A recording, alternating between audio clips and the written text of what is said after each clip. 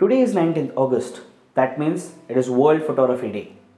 And I wondered that how photography is so present in everybody's world.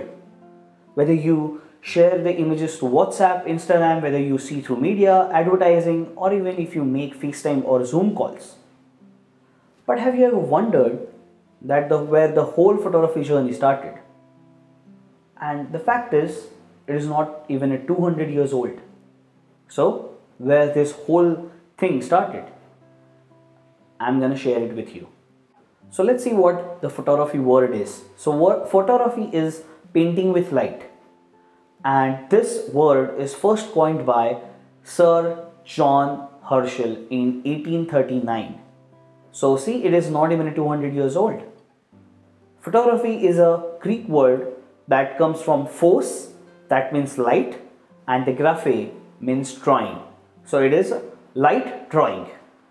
And photography is a combination of two distinct sciences. The first one is optics, where you bend the light through the lenses, reflect the light through mirrors.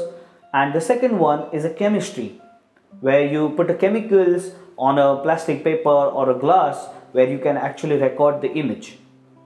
Well, we have seen this image on the inter internet. So, and suggesting that this is the first camera.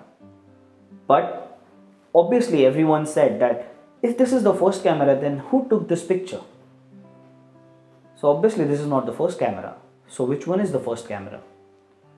So we'll have to go 2-3 centuries in history to see where this camera comes from.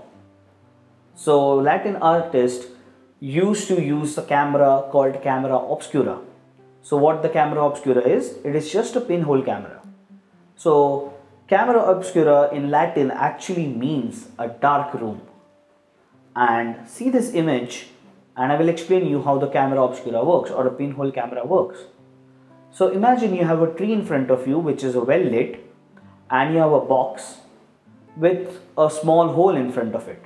So now what will happen is the light will get reflected through the pin like through the hole and it will be projected on the other side on a black side or a, or a curtain or anything so in this image, you can actually see the tree is getting reflected in through the through the hole, and it has been projected on a wall, and the artist is actually tracing it.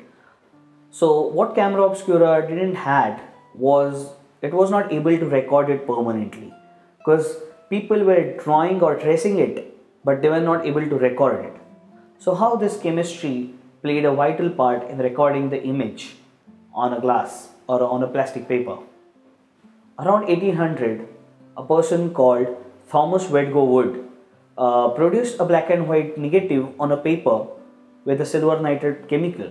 So the chemical was known for getting dark when it, it is exposed to the light.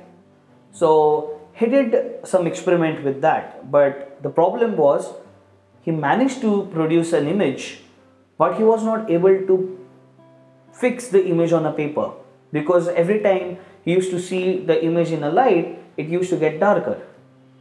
16 years later, in 1816, a Frenchman called Nicéphore Niépce attempted the same thing. But however, like a Wedgwood would, he was not able to fix the image permanently on the paper.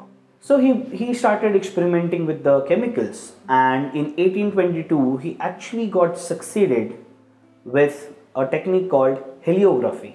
So heliography means a sun drawing and in 1862 he actually succeeded to print, uh, print the actual photograph and fixing it on a paper. So this is the image and everyone, almost everyone in the photography industry knows this is the first image captured through a camera on a paper. But do you remember what was the time of exposure for this image? It was 8 hours. The paper was exposed to 8 hours to create this image. So after a few years, Niépce and another French person called Louis Daguerre partnered together to improve this heliography process. After Niépce died in 1833, Louis Daguerre came up with his own developed chemical or a process which allowed photographers to get the exposure in several minutes rather than keeping it for several hours like heliography process. for which the French government awarded him a lifetime salary, and because of which only the 19th August is known as a World Photography Day. Around 1835, an Englishman called William Talbot produced a process which allowed people to, to reprint or recreate the negative afterwards. So in 1841, the prototype of that method came into the world, and that whole technique is still available until the digital photography came. So obviously, with all these innovations and, and scientific discoveries, obviously there was a lot of criticism with the artist because they thought they would lose a job. Because obviously now you are getting a physical image rather than a painting.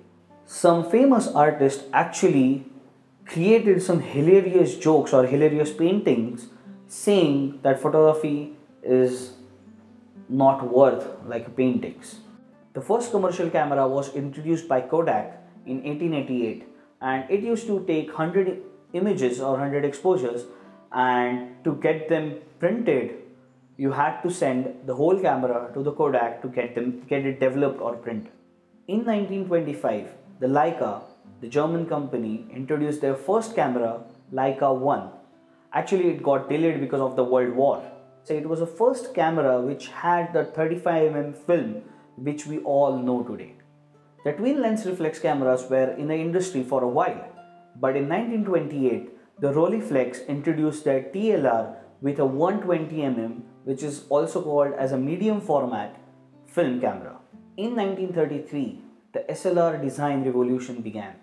Uh, the first SLR camera was a German camera, Ihagee, but they were waist level viewfinders, uh, not like a traditional uh, eye level viewfinders as we know today.